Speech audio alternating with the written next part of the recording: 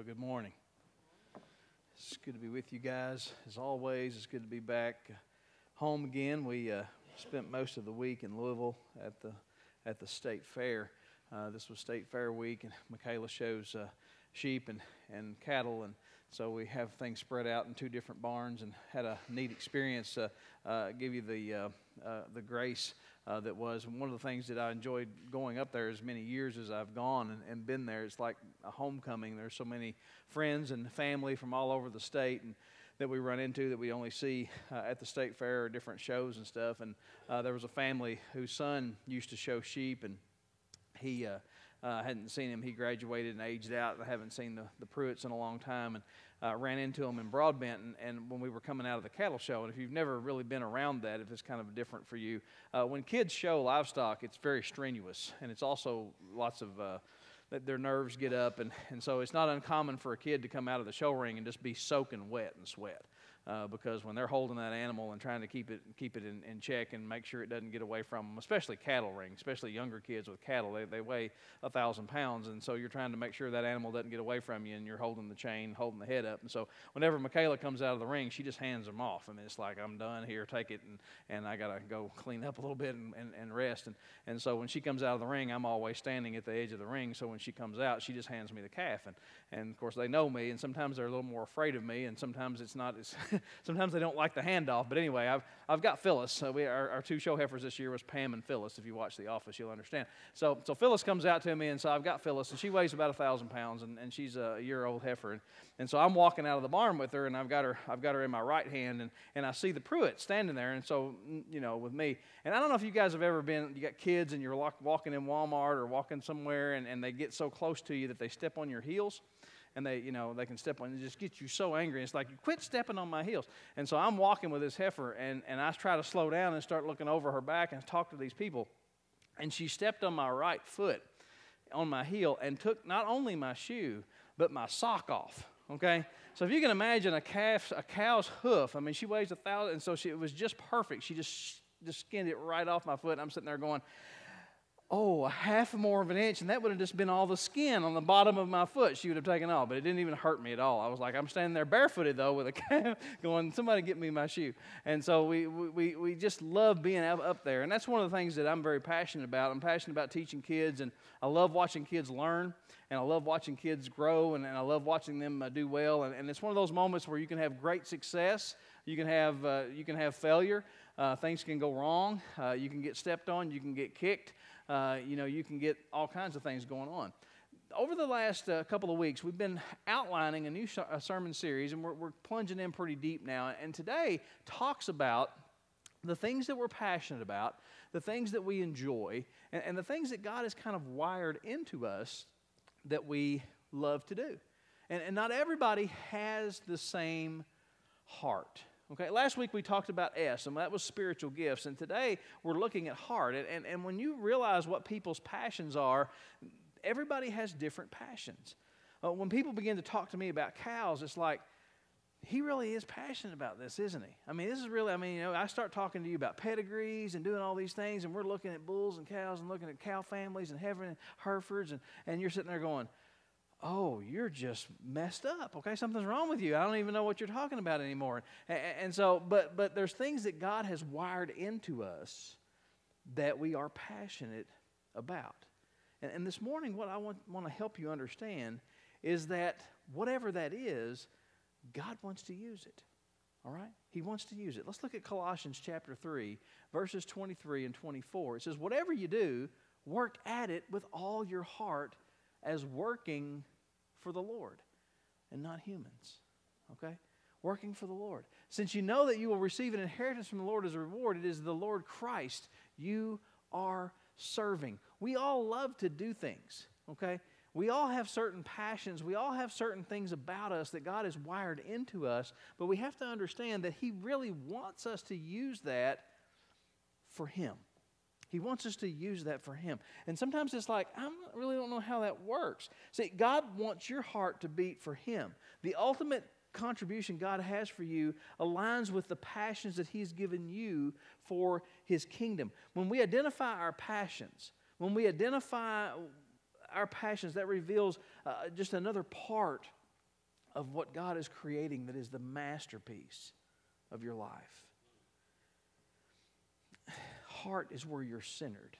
Your heart is where you desire to serve. Heart is, is the altar upon the place that you, you, you use your talents. Okay? The gifts that we talked about last week, you, you take those gifts, and the giftedness is what you are, but heart is where you will most likely apply what you are.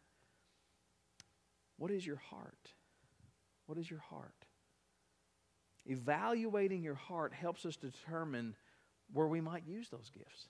It, it helps us determine where we wish to serve and whom we wish to serve. Our heart also reflects our dreams and our desires. You see, we have passions, and, and, as we have those passions, it's just those things that, that, that drive us. Okay, it's those things that, that drive us. And, uh, you know, when you, you see, Taylor doesn't have the same passion as Michaela does for the things that we do on the farm. It's different. When we came home uh, on, on Friday, uh, when we got home, uh, I was at school doing some things, and we had to cook uh, for a tailgate party, and so I was getting the grill and everything ready. And I, and she called me. We had new calves born this week, and I said, "Where are you?" She said, "I'm out in the pasture, uh, checking on all the babies." And so, so she was driven to do that. Taylor would have never done that. If I had called her, he'd been like, Where are you at? And have you been out? No. it's just not really wired into her the way it is in Michaela. And so she would have done the same thing that I would do. And because we're, we're, we're very similar in our, in our natures. And, and, and so God wires into us these things. And, and, and so we ask the question we're going to look at five questions this morning that helps us to discover our passion. And then in that, the desire that God has given us and how He wants us to use that. Because you may think, well, you know, you, you talk about things that you're interested in, but I don't understand how that really equates to ministry. So we're going to get there. Number one, what drives you? You know, what is it that drives you? What, what, what, what, what pushes you? What is, your, what is your desire? What is your passion? What is your heart? What, What is it that you would do if you could, you know, if you could just do something all the time? What, what is that? The key to discover the cravings that the Creator has put in you, sometimes they're deep within our spirit. We have to get alone and just get with God. We just have to get alone and get with Him and, and just really explore who we are and who it is that He has made us.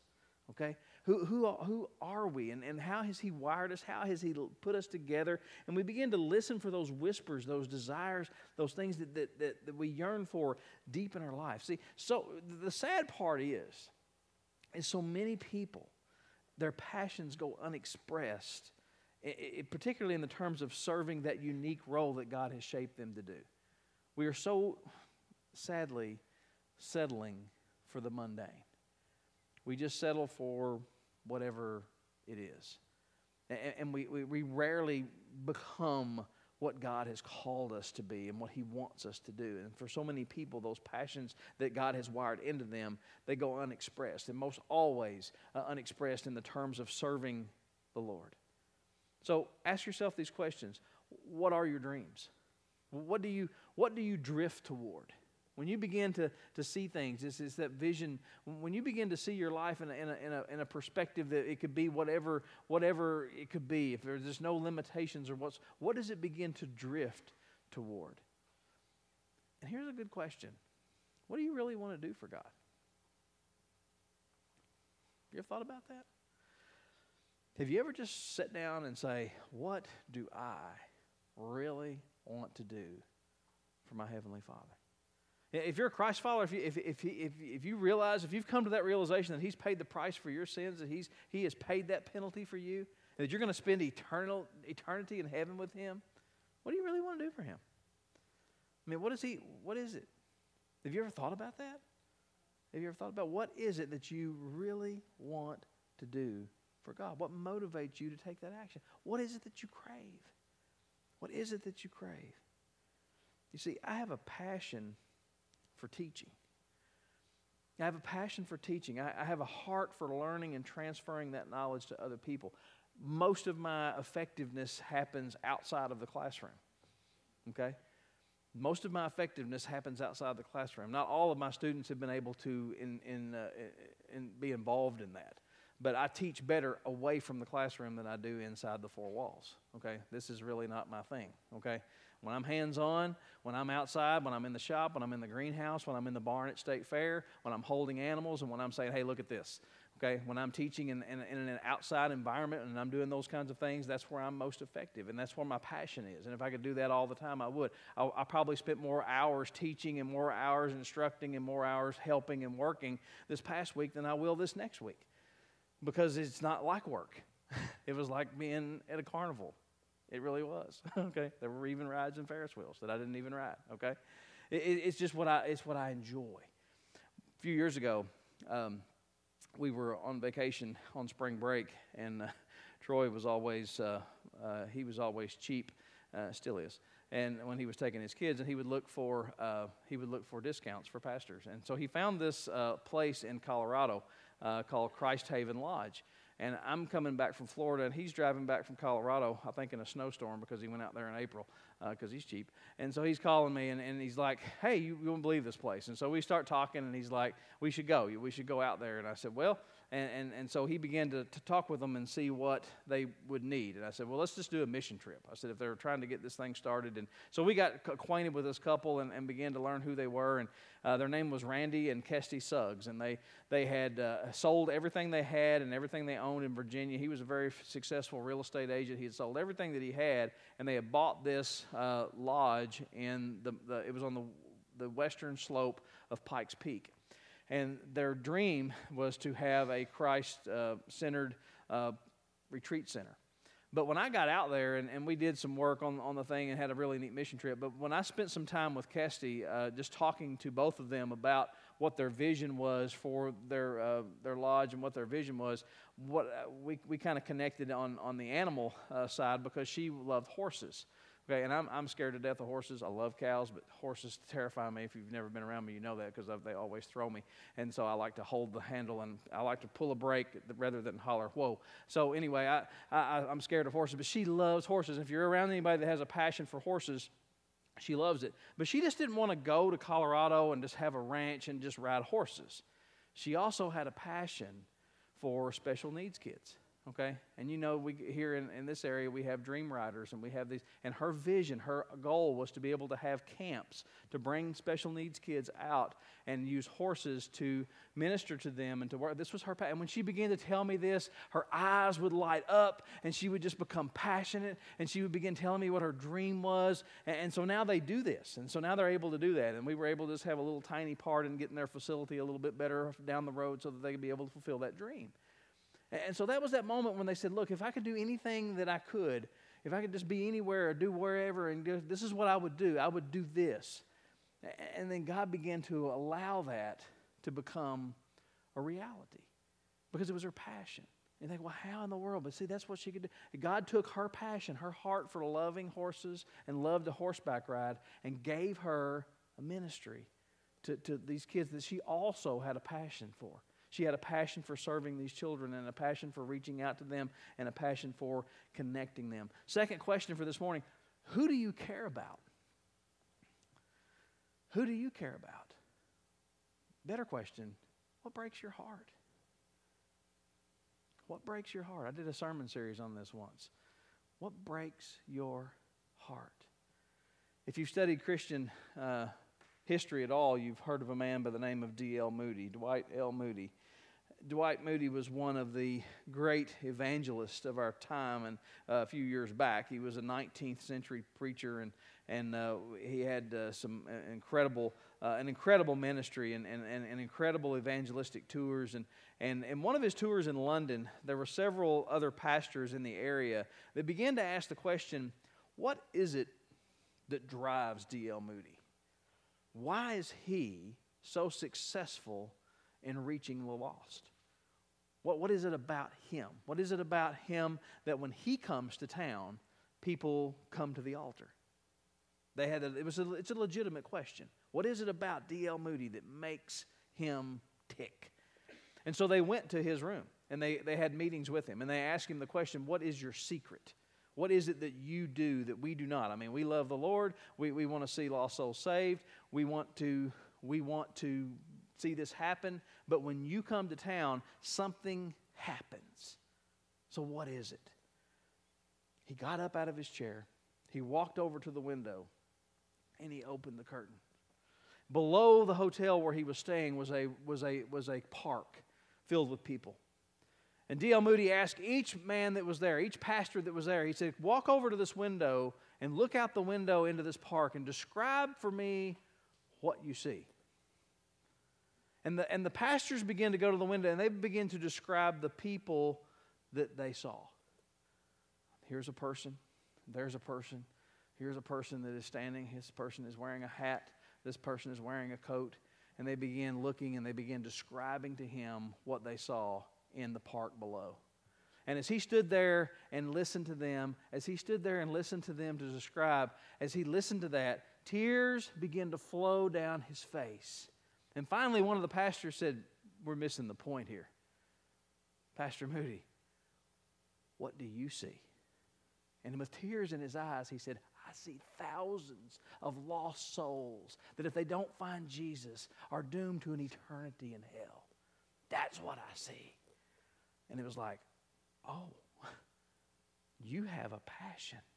You have something wired inside of you that you just can't even look at a crowd and not just see people. You look and see lost souls everywhere you go. Every time you change, God has wired into you an evangelistic passion that is unmatched. And, and you can't escape that. And so He wired him to be an evangelist. Now, listen. Coming up in a month, on the first Monday night of October, in our amphitheater out behind Living Faith, we have someone coming. His name is Pastor Steve Ayers. And Steve is the pastor of Hillvue Heights Church. And I have known and watched Steve's work and watched his, his pastor his pastorate at that church for uh, 20 plus years. It's a different kind of a place. All right, listen to me. Hillview has led the state of Kentucky in baptisms for over 20 years. Over 500 people are baptized a year in that church. And why is that? because God has wired his heart that way. All right, he's a different cat. All right, he is a different duck, and he is wired that way. He, he, it's in his, he has such a passion. All right, he doesn't see. He, he has one question for you when he meets you. Have you been saved and baptized? All right, answer quickly. Okay, because if you don't, you're going to get wet. Okay, because he wants to know. It's his. It's his passion. It's his heart. And listen, he is coming to share in a joint event here uh, it, it's a Man Up Monday wow event together because here's the deal that I want you to know. You may not be wired like Steve. You may not be wired like D.L. Moody, but God has given you someone in your life that He wants you to help reach. All right? And you're, you're, you, you may not be the one who preaches the message, okay? You may not be the one who, who leads them to Christ, but you are the one who befriends them. You are the one who develops a relationship with them. And you are the one that says, I got some place that I would like for you to come. All right? I have some place that I want you to go. I have someone that I want you to hear. All right? And that is how God uses that. Listen, that is a question. As, as we look at this and as we look at what, what, what your passion is about and all those things, God has placed people in your life who He wants you to help him reach. Who is that for you? Who is that for you? Who is God nudging you to help? Who is He nudging you to help? You may be drawn to people who are apathetic. You may be drawn to people who are facing marital conflict. Or you, it just may be somebody who simply needs Jesus in their life. And we meet them all the time, don't we? okay? Sometimes we walk away from an encounter and think, that person needs Jesus. Okay? They really need Jesus. Okay? And some of those people, God has just placed in your life. It's not just somebody that you have a, an encounter with and it's like, oh, they need Jesus. It's somebody that you live with, you work with every day. And it's like, this person really needs Jesus. Okay, then maybe you're the one to introduce them. Maybe you're the one who, to introduce them. And maybe all that is is just, won't you come with me Monday? Okay? Why don't you come with me to this event? We want you to come. I want you to be there. Think about that and think about that as that time approaches. That's not the only opportunity, but it's a great opportunity and we need to take full advantage of it. Maybe you're driven to make an impact on a specific group or a specific demographic, or maybe it's in the business world, maybe it's, it's children, maybe it's, maybe it's youth, whatever it is. Ask yourself this question Who do I feel I can most profoundly influence for God? Who do I feel I can most profoundly influence for God? Where do I feel led to minister? What, what, what group do I feel led to serve? And how can I impact them in a way that will maximize the gifts that God has given to me? Third question What needs will you meet? What needs will you meet? You know, there are so many people that have so many needs. Um, you know, that's one of the things that, that is uh, wired into our DNA here at Living Faith. It's part of our vision, it's part of our mission to meet human needs in the name of Christ. It's right there. If you read it, you'll find it to meet human needs in the name of Christ? What needs are you specifically equipped? What do you have a passion to meet? Okay? We have a tremendous ministry at the food pantry. Every Wednesday night, we meet human needs. We, we provide food for folks. I mean, come on, listen. The United States is the most gifted agricultural nation on earth. We, we feed ourselves and, and, and, and, and half the world, okay? I mean, it's really crazy the amount of agricultural production that we can crank out. The, abil- the ability that we have to grow and raise and produce food is unbelievable. It's unmatched to any nation on earth, and we're just actually idling. Okay, I mean, we, we can that we can ramp up production in ways that you can't even imagine. I could blow your mind with the things that we are capable of doing that we haven't even tapped. But in the midst of all that amazing production and ability and skill uh, that we have to produce food, we have people that are hungry. We have children who go home to their houses and don't have food. Come on, listen. We, we, we give backpacks away in our schools. We were able to do that this summer. Okay, uh, part of the program from the food pantry. We were able to provide backpacks. We were able to provide food to children who do not have access to food. What needs will you meet? What needs will you meet? What drives you? Okay, what, what drives you? What, what, what impacts your life? What has God wired you to do? Maybe there's a painful experience in your past. Okay? Come on, I know this. All right? I've, I've lived through some things. God's been pretty good to me. I've been really blessed. And some of you guys have been through some rough things. Some of you have been through divorce. All right? I get that. Maybe God's calling you to help somebody else. Every time I see a post, every time I see a post about somebody who's gone through a miscarriage, I try to reach out to them because 25 years ago on Labor Day weekend, Sandy and I went through that. All right? We survived it. We went through it. God blessed us with two beautiful girls, and it doesn't always happen that way. But I always reach out and say, Look, I, I, I get it. I understand. I know where you're coming from. I know the pain you're feeling. What experience have you been? You know, some of you have lost loved ones, people that are very close to you, and, and, and you're and you're and it's, it's tough, okay? And God says, "Look, I want to use that. I want to use the hardest part. I want to use the most difficult thing that you've endured, the hardest thing that you've gone through. I want to use that to help you connect with other people because here's the thing you need to know you ain't alone. Okay? You ain't alone. There's other folks going through the same thing you are. And it's when we bind together, it's when we, we connect together, and when we, when we link together that God helps us. He helps us get through it, and then He helps us help other people. Who better to help people overcome difficulties and grow with Christ than somebody who has been through the same trouble and has moved, been able to move on? The next question What cause will you help conquer? What cause will you help conquer? Yeah, I don't know what drives you. I don't know where it's going to start for you.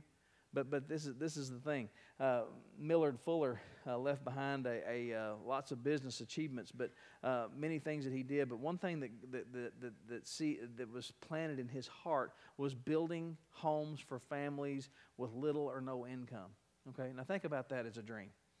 Think about that. It's like, okay, dude, your passion, I mean, you're, you're a builder, you're a contractor, and your passion is to build homes for people who don't have a home. It's a pretty tall deal isn't it? All right? I mean, so, some of us have a, have a hard time paying for the one we're living in now. How are we going to pay for one that for, the, for somebody who doesn't have one? That's a pretty, pretty big deal.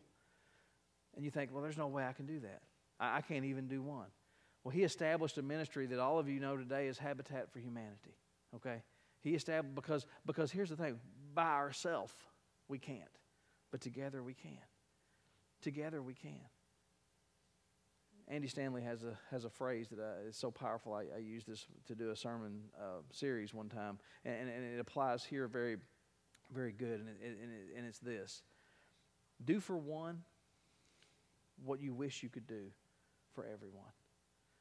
Okay, because because the overwhelming sense of that I can't do for everyone causes us to be paralyzed sometimes. Okay, and it's just like, well, I can't do, I can't feed all those kids. I can't provide a house for everybody who doesn't have one. Okay, let's stop. Listen, do for one what you wish you could do for everyone. And you think, well, how do I pick? That's not fair. Life's not fair. Okay, mama's not fair. Daddy's not fair. Life's not fair. God doesn't try. He's not calling you to save the whole world, but He is calling you to to minister to one.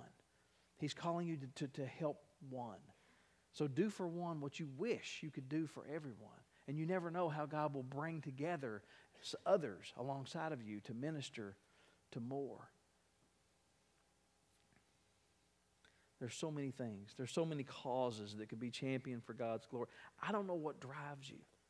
I don't know what drives you. Maybe, maybe it's abortion.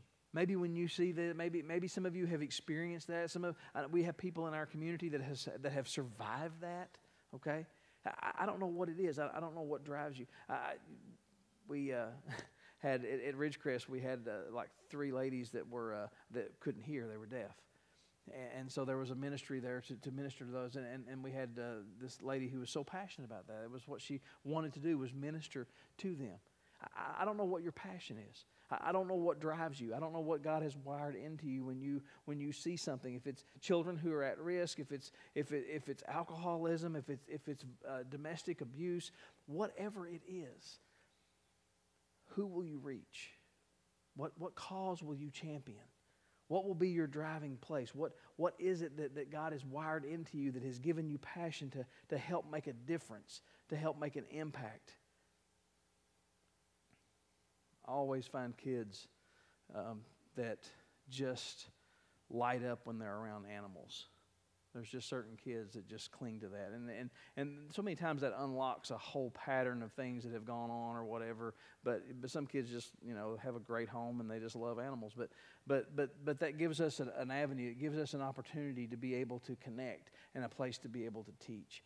Whatever it is. Okay, whatever your passion is. Uh, the final question uh, as we look at this is what dream will you fulfill? Okay? What dream will you fulfill? John Eldredge uh, wrote a book. It's a powerful book called Wild at Heart. And If you've never read it, you should. And, and, and, and some, of, some of, uh, of what he writes helps us that our goal here is to recover the adventure that God has written on our heart when he made us. He wired these things into us and, and, and, so many times we allow the world, we allow things to kind of press that back down, and we don't become completely what God has called us to become. Your deepest desires reveal your deepest calling. And, and God wants to tap into that, the, the adventure that He has for you. You have to decide not what you'll exchange a life of, of, of, of, control born out of fear for a life of risk born out of faith. You see, because here's the thing here's a question if you had permission to do what you really want to do, what would you do? What would that be? Because when I ask you, what would you really want to do? And you would say, well, if it weren't for, or if I had the, or if I had plenty of, forget the if. What would you do? What would you do? If you could do anything that, that you feel passionate about doing, what is that? If you had permission, to do anything that you really want to do, what would you do? What is the greatest desire of your heart? And here's the thing don't ever ask yourself how when you're exploring what God's heart is for you. Don't ask the question how. That's God's question. Okay? All right? When God called you guys to establish a dental clinic in Haiti, you didn't ask how, did you? Because when you ask how, it's like, well, we can't do that. We're not a dentist. Okay? We don't even have the equipment. But God called you to do that. And when He called you to do that, then He provided. See, He provided. Things begin to happen. Dentists begin to call and say, Hey, I'm retiring. Won't you come and pick up my whole clinic and move it to Haiti? Those things happen. Why? Because God was talking to the dentist, because He does that. okay? He does those things. You see, don't ask how. When we begin to say, well, I would, but, okay, forget that, okay? Don't ask how, ask what. What is God calling us to do? Don't ask yourself how. How is never the right question because how is a faithless question. How is a faithless question. That's God's department. That's what He does. He's asking us, what? What would you do? What have I wired you to do? What have I designed you to do? What have I, what have I called you to do? If you could do what you've always wanted to do, what would it be? You see, dreams get buried by jobs sometimes that are unfulfilling. We do things just for money. And, and I've seen this happen so many times. I, I've seen this happen in the school system a lot. I've seen it happen in the school system where somebody is so passionate about doing what they do, but they do something else because they want more money. And then you look at them and it's like, you're not happy, are you? Oh. Why are you doing it? Why are you doing that? We, we do things for, for the wrong reason so many times, expecting God to bless it, and He won't. okay? When you do something for the wrong reason and expect God to bless it, He won't. He just won't do that.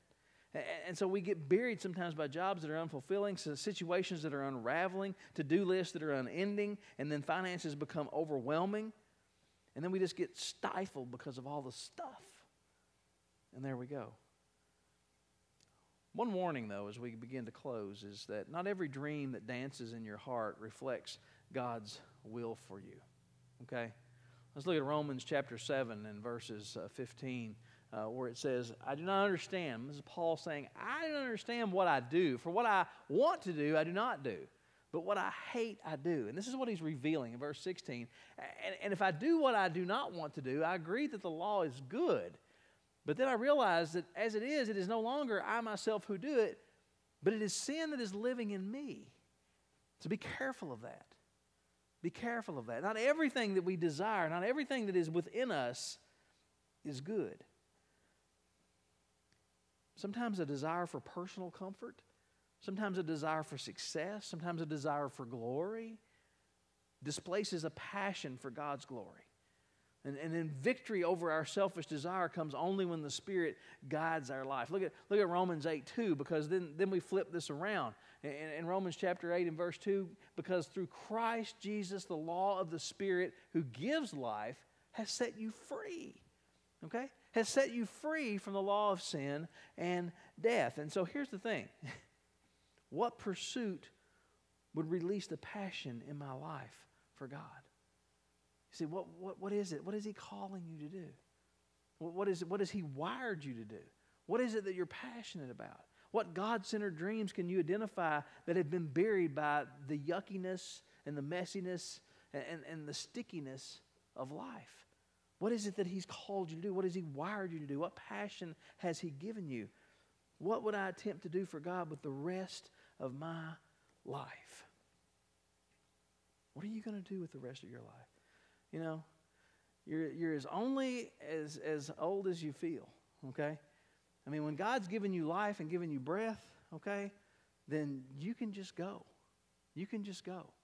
And sometimes I apparently am learning that I feel younger than I look. I don't know how this is working, but uh, I, I, pull into the state fair Wednesday, and, and Sandy's riding with me, and, and I have two of our exhibitor tickets, and I hand them to the nice lady at the gate, and she hands me one back, and she said, I just need this one for parking, sir, because today is Senior Citizens Day at the fair. You guys have a great day, okay?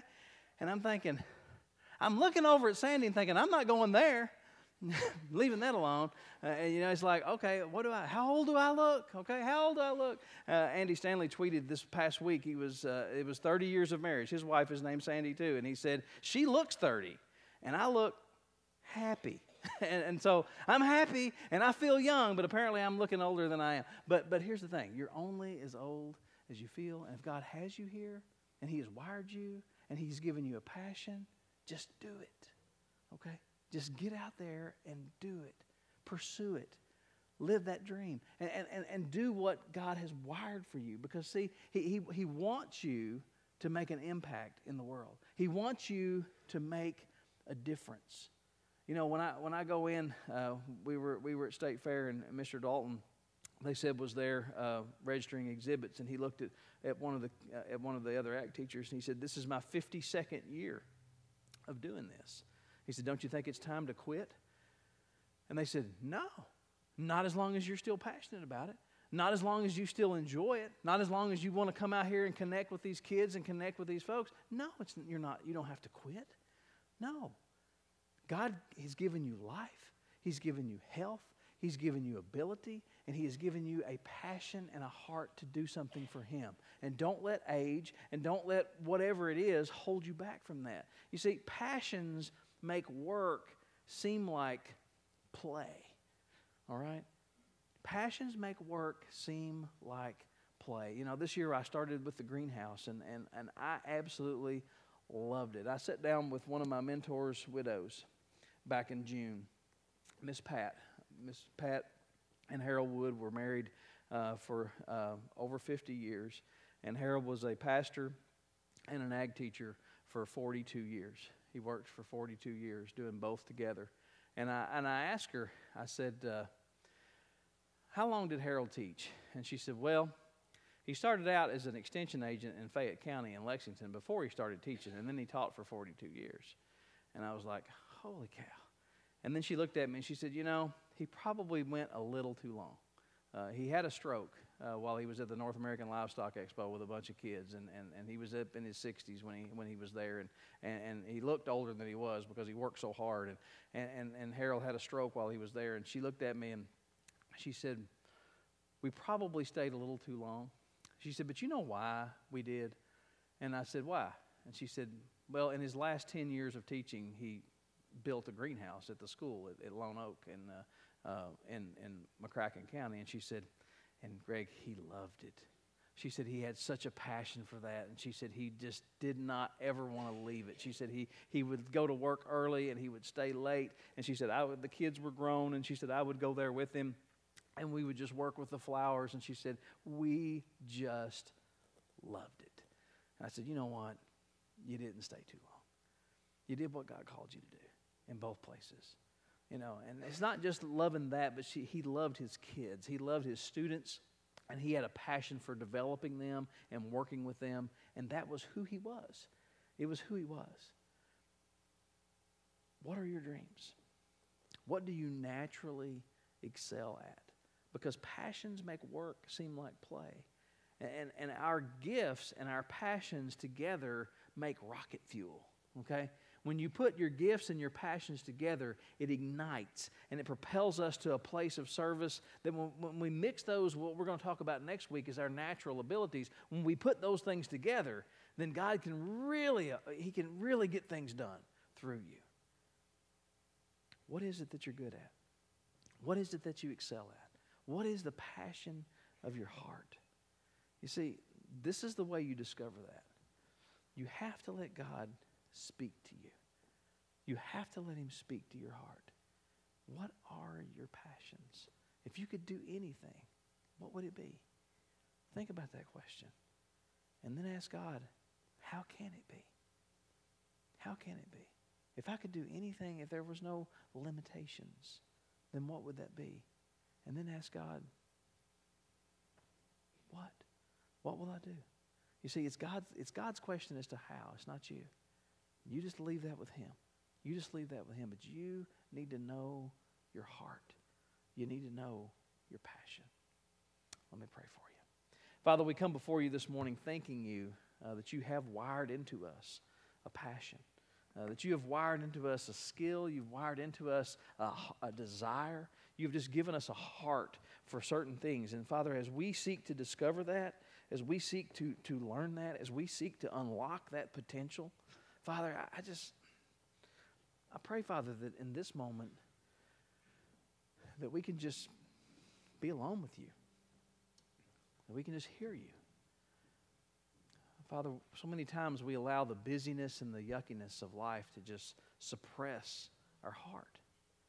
And Father, you, you have people that you want us to reach. You have places that you want us to go. You have things that you want us to do. And you've wired us for that. And so, Father, help us to discover what that is. Help us to know how that, how that works. Father, help us to not get hung up in.